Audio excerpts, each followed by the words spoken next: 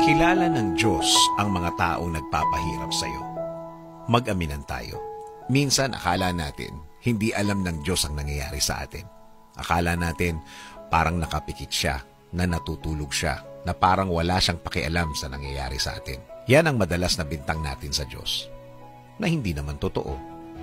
Nakabantay siya at alam niya, alam na alam niya, kung ano ang nangyayari sa atin. Bawat galaw, bawat araw na dadaan. Alam niya kung ano ang nangyayari. Kung alam niya ang araw-araw natin, alam na alam din niya, kilalang kilala din niya kung sino ang mga nagiging dahilan ng paghihirap natin.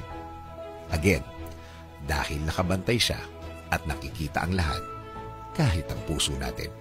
Yes, alam niya kahit tayo ay nasasaktan.